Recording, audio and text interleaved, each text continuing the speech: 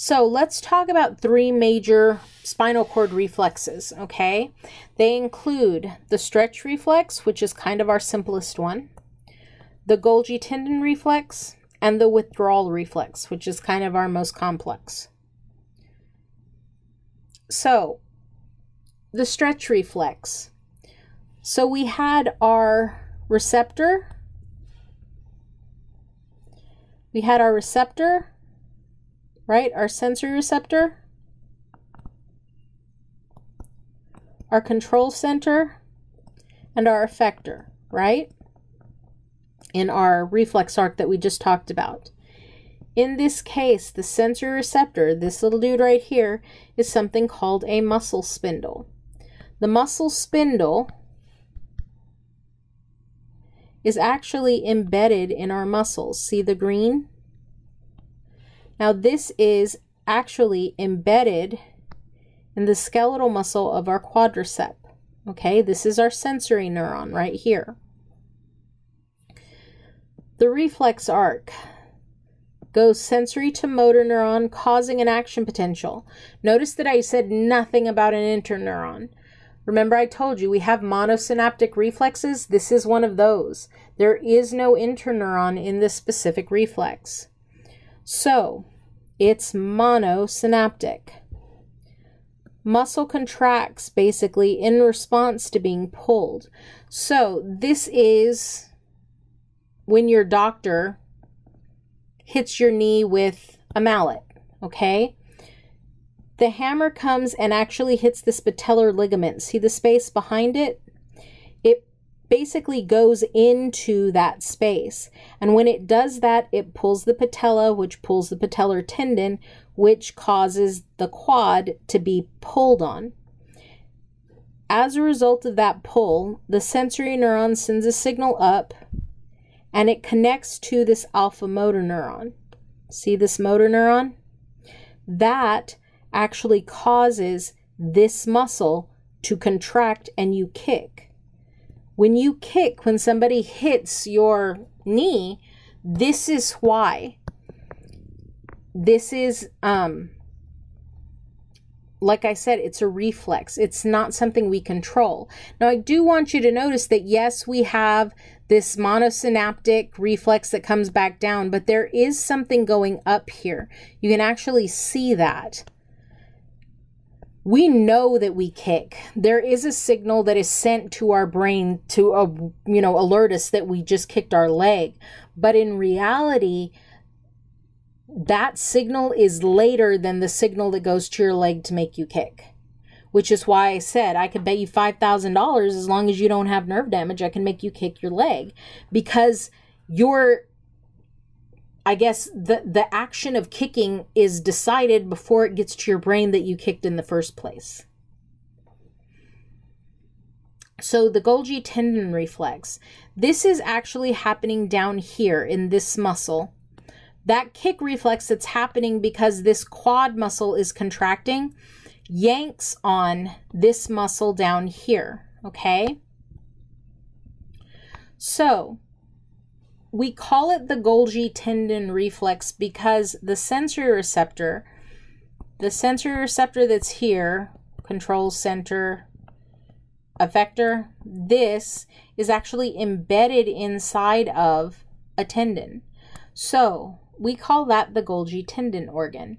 It's embedded in the tendon attached to the muscle below your leg. It's down here. Okay. So in the reflex arc, your sensory neuron actually synapses with an inhibitory interneuron. Remember, an inhibitory neuron releases neurotransmitter that shuts everything down.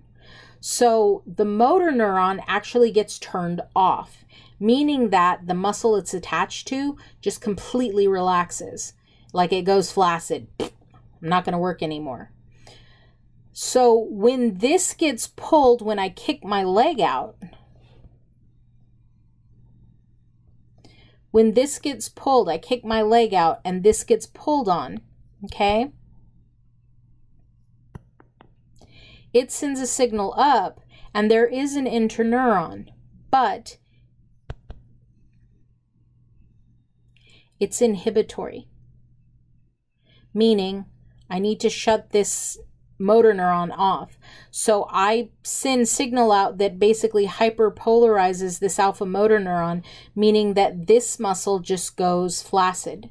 There is no reason for that muscle to move anymore. Now, why? Okay, Imagine if both muscles tried to contract at the same time, one trying to bend my leg and one trying to straighten my leg. The chances of damage happening are very, very high. I would tear something somewhere. So instead of doing that or risking that, I get this one to contract, but then this one automatically just lets go so that my leg will kick and there won't be a fight for what position my leg should be in. Now, the withdrawal flexor reflex. Basically, imagine walking and you step on a nail and the nail goes into your foot. What's the first thing you're going to want to do? Well, you're probably going to want to pull your foot away. The thing is, if you're walking, right, you're walking, and there's a nail here. If you were to pull this foot up automatically, this leg is bent because you're walking, you would just fall to your knee. So that isn't a good idea. So I need to pick this foot up. Absolutely. I just stepped on a nail, but I need this leg to kind of straighten up and catch me while I pick this foot up. This leg needs to catch me. So I've got kind of several things happening at once. The pain is getting to my brain telling this leg to contract, but at the same time, it's going across my body to the opposite leg, telling it, hey, I need you to catch me.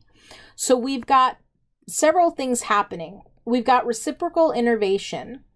While the agonist is contracting, automatic relaxation of the antagonist is happening. If I need to bend my leg away from the, the painful stimulus, if I need to bend my leg away from the tack, the muscle that normally straightens my leg, I need that to shut off. Because again, I don't want two fighting muscles. Crossed extensor, to extend means to straighten out, right? Crossed, I need to go to the other side of my body. I need to go across to get my other leg to extend to catch me because I just stepped on a nail. Okay? So, let's talk about getting my foot away from the painful stimulus first. So, what's my sensory receptor? Well, the pain receptor is my sensory receptor because I just stepped on a nail. It carries an action potential through the dorsal root, which all sensory information goes in through the back. When they synapse with excitatory interneurons, excitatory means I'm going to get an action potential. They synapse with an alpha motor neuron, it stimulates the muscles to remove the limb from the painful stimulus. I need to get away from that pain. I do have collateral branches it's, um, of the sensory neurons that synapse with ascending fibers to my brain. I am aware that I am in pain. I am consciously aware that really, really hurts. So let's look at this. Here's the nail. Here's my sensory receptor. Here's my sensory neuron that carries the information up to my brain, right? Or my spinal cord in this case. Here's my excitatory interneuron. Excitatory meaning I'm going to get an action potential. It causes this motor neuron to fire. This motor neuron is attached to this muscle. Remember, this is the muscle that bends my leg. This is the muscle that straightens my leg. My quad straightens my leg, but my biceps femoris, I think, actually bends it. So when I cause this to contract, I actually pull my foot away from the painful stimulus. So this is the withdrawal. I need to, ow, I need to get my foot away from it. Now remember something. I can't have this muscle trying to straighten my leg at the same time I'm trying to get this muscle to bend my leg away from the nail, right? So this muscle, I need to shut it off. Imagine two parts of your body trying to fight each other, one trying to keep your leg straight, the other one trying to bend it, and the entire time your foot is sitting on a nail. No, let's not do that. So let's talk about the reciprocal innervation. Basically, this is helping me to get my foot away from the nail. It reinforces the ability of me to withdraw my foot from that nail. So, as the pain receptors carry information, carry action potentials to the spinal cord, they split. Half go to the agonist, the one that's helping me to bend my leg away. Half go to these collateral branches, these other branches, and they synapse with an inhibitory interneuron. What do I want to happen to the muscle that straightens my leg? I want to turn it off. So we call this reciprocal innervation. I've got these inhibitory interneurons that synapse with the alpha motor neurons of the antagonist muscle. This one bends my leg, which is the action that I want. The mm-hmm, the antagonist straightens my leg, right? Which is what I don't want. So it's an antagonist if it's an inhibitory interneuron, it's going to basically cause it to relax. Okay? So it relaxes.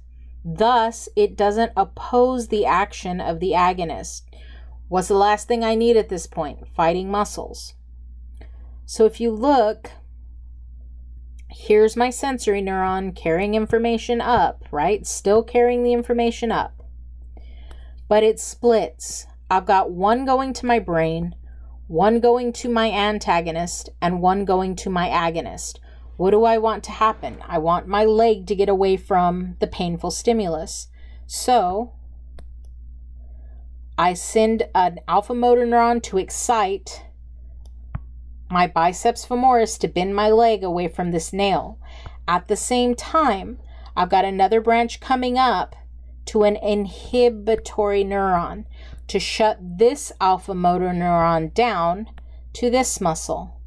Why? Because this is the muscle that would straighten my leg. If my leg straightens, I'm going to jam that nail further into my foot. So I relax this muscle at the same time I'm contracting this muscle to basically ensure that I'm getting my foot off of that nail. Now remember, this is the one leg my other leg still has to catch me. Whoops. So, the crossed extensor.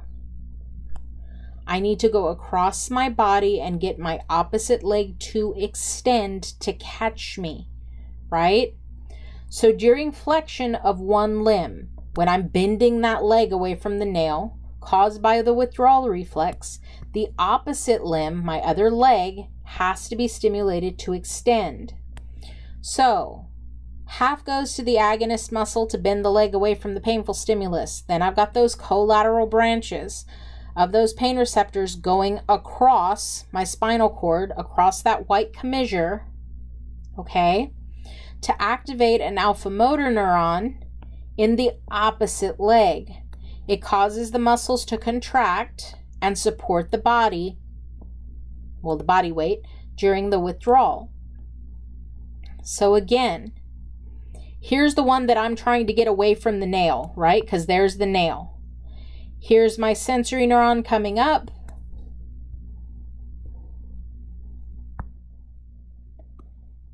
Goes to the muscle to get my leg to pick up, goes to the other muscle to get that muscle to relax, goes to the brain to tell me I've stepped on something.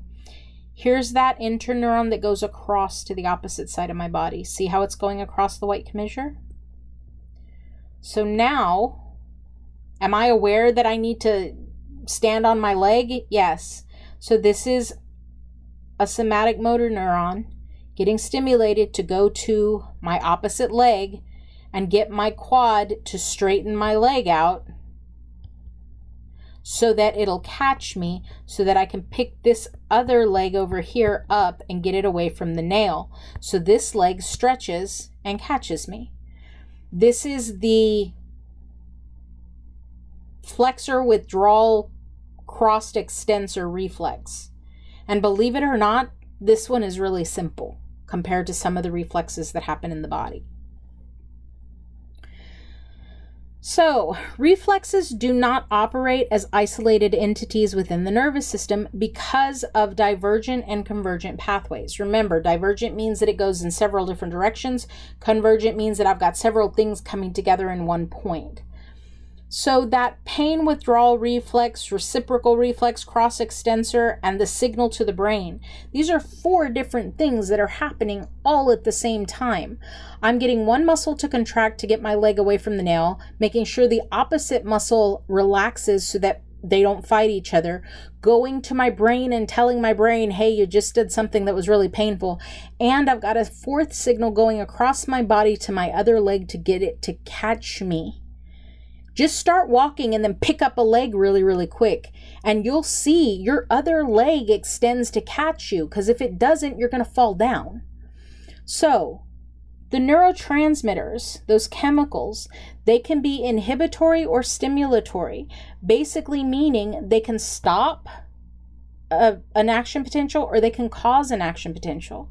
When we talk about the muscle that we want contracting, heck yes, it's excitatory. I want that muscle to contract. If we're talking about getting the opposite muscle to relax, though, it's inhibitory. I don't want that muscle to do anything. So, we've been talking about the spinal cord and how the spinal cord works. Now we're going to talk about the peripheral nerves. Okay, so the things coming off of your spinal cord. Your nerves, the peripheral nerves that are in your body, consist of axons, Schwann cells, and connective tissue. It's not just one neuron. If you look, see this? This is one neuron. Do you see how many of these there actually are? That's a lot this whole thing with the little fat pad and the arteries and veins and this connective tissue on the outside with the epineurium on the outside and the bundles with the perineurium and the endoneurium surrounding each individual cell this is a nerve. So when i say a nerve isn't one individual cell this is why i say that. So endoneurium is a connective tissue coating that basically covers every single cell. Perineurium bundles these together. So each dark blue that you see here, here, here, that's a perineurium.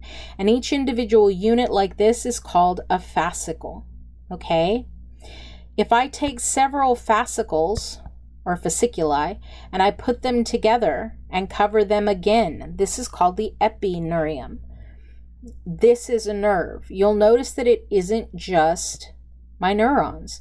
I've got blood vessels, I've got connective tissue, I've got fat pads in here too. So when we talk about nerves, we're not just talking about individual cells anymore. So our spinal nerves in the peripheral nervous system, we're not talking central anymore. You have 31 pairs Again, because you have right and you have left. You've got right and you've got left. So you've got C1, left and right. You've got C, hang on, C2, left and right. You've got C3, left and right. C4, left and right. We call them pairs because we've got two sides of our body. 25 of your spinal nerves exit through the intervertebral foramina. If you look on your PowerPoints for um, lab, you'll see that these are actually coming from between the vertebral bones. There's a little kind of arch between the two bones, and you've got this thing coming out of that space. This is the spinal nerve. Okay, in the picture, the spinal nerve is the yellow thing. One pair, the first pair, C1, actually doesn't come out from in between the vertebra. it actually is below the skull and on top of the first vertebra. So it doesn't come through that intervertebral foramina. Foramina meaning hole. Foramen, foram, for, foramina, it just means hole. Um, S1 through S5 actually exit through the sacral foramina. Instead of coming out to the sides like this, if you go down here to the sacrum, they actually kind of come out at odd angles through these holes. And you can actually also see them coming out through the opposite side. the coccygeal nerves. Okay, well, I skipped a whole section. Let me go back. You have eight cervical nerves, C1 through 8. You have 12 thoracic. They're right around the rib cage. You have five lumbar. You've got five sacral. In lab, though, in the pictures in lab, you only have four because that fifth is actually kind of buried in bone, so you can't really see it. And then you've got one coccygeal, which we call C naught. C, this little zero here is not. So that you don't get confused with C1 through C8, they labeled it C naught. So that you know it's the one that's down here in the coccyx, okay? If you can remember breakfast, lunch, dinner, snack, you can remember how many are there breakfast, if we're, you know, a normal person who work works normal hours, it would be eight o'clock in the morning. So there are eight cervical vertebrae. Again, if we were a normal, normal person who had norm, normal business hours, lunch would probably be at 12 o'clock. There are 12 thoracic nerves. Lumbar is at 5 o'clock. Again, normal person with a normal schedule, you would eat at 5 o'clock. You would eat dinner at 5 o'clock. So that's breakfast, lunch, and dinner. For the lab specifically, the pictures of the uh, sacral vertebra, there are only four. So I think of somebody coming home after school and having a snack at four o'clock before dinner at five. Reality, if she shows you a picture that looks like this, it would be five. And then the coccygeal, you can't mistake that one because it's literally sitting right on the coccyx right here. Okay, you can actually see it right there. Um, so yeah, I hope that helps. The letter is indicative of where the nerve emerges. You need to understand that we're not talking about from the spinal cord itself, we're talking about from the bones. Because all of these that are down here, all of these, remember the spinal cord ends at L2. So these are traveling some distance before emerging from the bone. So we're talking about where is it coming out at the bone when we talk about um, the labeling as far as the letter. The number is indicative of the location. The smallest number is the highest, the most superior. The largest number is the most inferior. Dermatome. Remember that your spinal nerves all carry sensory information. Remember that it's got that entrance from the back from the um, posterior root. So, nerves arising from each region of the spinal cord and the vertebral column supply really specific regions on your body. Each spinal nerve has a specific cutaneous sensory distribution. In other words, each spinal nerve, C1, C2, C3, C4, C5, each one is in charge of a specific section of your body. This picture is a dermatomal map. It tells you every single spinal nerve and what it is responsible for carrying information for. And if you look, you can see that at his shoulders it's C4. So if I touch you on your shoulders anywhere here where it says C4, the nerve carrying that information up to your brain is C4. That's why we say that. If, however, I were to touch, let's say, your outer forearm here, well, in that case, it would be T1. If I touched your elbow, right there, if I were to touch that, T1 is the one that's responsible for taking that information up to your brain. This whole picture from bottom of my feet to the top of my head, this is the dermatomal map. It's the whole thing. However, Let's say S2, just this little area right here. That's a dermatome. It's the specific dermatome for um, sacral nerve 2. Okay? Now, in movies, you will see, you know, somebody is in a car accident and they say they can't feel their legs, and a doctor will come up and say, Can you feel this? And it, he'll touch in a specific region. Can you feel this? Can you feel this? Can you feel this? And if they get to a point where the patient says, I don't feel that anymore, the reason they're doing that is because of the dermatomal map. Let's say I get to about here and the patient says, I don't feel that anymore. The first thing the doctor is going to say is, okay, I need you to do an MRI. I need you to go from about T6 up here because I stopped at T8, right? From T6 to T11 because whatever happened happened in this section of your spinal cord because now you can't feel that. When they do that, there are several reasons. One, an MRI going from the top of your head to the bottom of your feet, or from the top of your head to the bottom of your spinal cord, let's say to your butt, is going to take hours. Basically, engaging that, that MRI for hours. That's not really conducive to getting patients in and out. Two, that kind of MRI going from the top of your head to the bottom of your end is going to be so expensive let me tell you, I've had MRIs in one place, like my shoulder. I mean, it wasn't even like I had to go huge, is just my shoulder. And that was like 900 and something dollars. So, yeah, and that was with insurance. So, this, you know, doing a whole body scan, not really cost effective either. Something else, if you have a patient who is damaged like that, time is really important. Having them sit in an MRI for hours and hours and hours only means that their body's reaction to the damage is going to cause even more damage. So, being able to use these to kind of narrow down where something happens is really important. Something else, just to kind of give you another example. So, in the year 2001, I had back surgery because I had injured my back very, very badly. And they ended up having to go in and do some repair. So when it happened, um, I ended up losing feeling in part of my foot. I lost feeling on the outside of my foot and basically my baby toe. I can't feel my baby toe on my left foot anymore. Um, I also can't really feel the heel around there and I can't feel this side of my leg. So if you look there, you'll notice that it says L5 and S1. Guess where the damage was? Between my last lumbar and my first sacral vertebra. That was where the damage was.